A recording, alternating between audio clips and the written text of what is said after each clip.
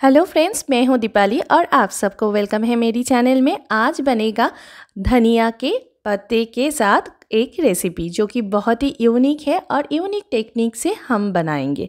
तो चलिए, इसके लिए ना फ्रेश धनिया के पत्ते चाहिए। बिल्कुल इस तरीके से पत्ते ले लीजिए, थोड़ा सा स्टेम भी इसके साथ चाहिए और इसको ना हम लोग कर लेंगे अच्छे से वॉश अच्छे से वॉश कर लीजिए, क्योंकि हम ना ये इसको चॉपिंग नहीं करेंगे। बिल्कुल इस तरीके से ही हम लोग कुकिंग में इस्तेमाल करने वाले हैं।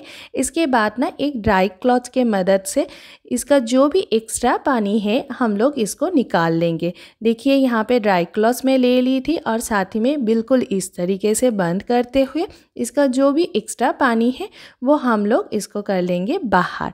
और साथ ही में अभी धनिया के पत्ते को कर देंगे साइड और इसमें से ना जो ही अच्छा पत्ता है, वही हम लोग इस्तेमाल करेंगे। अभी एक लंबा सा प्लेट लेंगे, जिसके अंदर मैं डालने वाली हूँ टू टेबल स्पून बेसन, साथ ही में एक टेबल स्पून रवा, और साथ ही में ऐड करेंगे salt as per your taste और साथ ही में ऐड करेंगे जिंजर के पेस्ट यहाँ पे आप लोग चाहो तो गार्लिक के पेस्ट भी डाल सकते हो।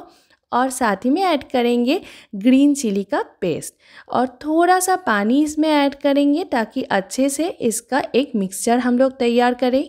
ये मिक्सचर इतना पतला भी नहीं होना चाहिए और ज़्यादा गाढ़ा भी नहीं होना चाहिए। बिल्कुल हाथों के मदद से अच्छे से इसको मिक्स कर लेंगे। अभी मिक्सर को साइड कर देंगे और ले लेंगे हमारे धनिया के पत्ते। और ये पार्ट ना बहुत ही केयरफुली आप लोग ऑब्ज़र्व कीजिए। बिल्कुल इस तरीके से चार पाँच धनिया के पत्ते हम लोग ले लेंगे। और इसके बाद देखिए मैं जिस तरीके से कर रही हूँ, बिल्कुल स्टेप को ऐसे ही फॉलो करते जाइए। पहले ना धनिया के पत्ते को हम लोग बिल्कुल इस तरीके से जो भी बैटर बनाए थे, उसके अंदर डीप कर लेंगे अच्छे से ताकि ये कोटिंग हो जाए और इसके बाद ना धनिया के जो एंड पार्ट है, जो स्टेम है, उसको हम लोग राउंड करते हुए पूरा एक सर्किल शेप में इसको कवर कर लेंगे।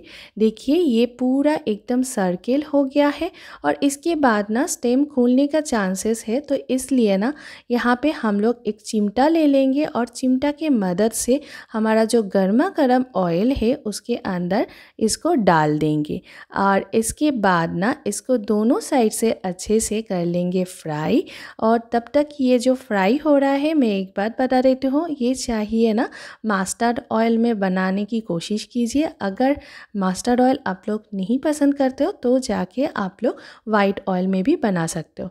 ये देखिए, ये कितना अच्छे से बन गया है और ये ना पूरा एकदम मेदू वड़ा के जैसा दिख रहा है। ये चिमटा से मैं नहीं की थी, हाथों से ही कर ली थी, क्योंकि थोड़ी देर एक दो बार करने के बाद ना आपको प्रैक्टिस हो जाएगा तो आप लोग आसानी से इसको कर पाओगे। तो है ना ये कमाल का डिश और बहुत ही यूनिक। आप भी इसको ट्राई कीजिए बच्चों के साथ। बनाइए, खाइए और इन्जॉय कीजिए और हो सके तो चैनल को लाइक, शेयर, सब्सक्राइब ज़रूर कर लीजिए।